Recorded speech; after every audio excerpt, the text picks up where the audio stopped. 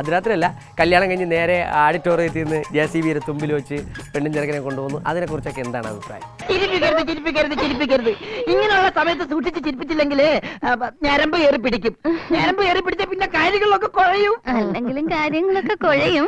അങ്ങോട്ട് ഇരുന്നാട്ടെ ഗവൺമെന്റ് ഹോസ്പിറ്റലിൽ ഇനി കൊതുകിന് പകരം ഞാൻ ലവ് ബേഡ്സിനെ പറത്തിച്ച് തരാം. ആരും അറിയരുത് അത് നിന്റെ കയ്യിലുണ്ടെന്ന്. ഒളിച്ചു വച്ചാ പിന്നെ എന്റെ കയ്യിൽ കാണൂലല്ലോ. ഇന്ന് രാത്രി ഏഴ് മണിക്ക് ഏഷ്യാനെറ്റ് പ്ലസിൽ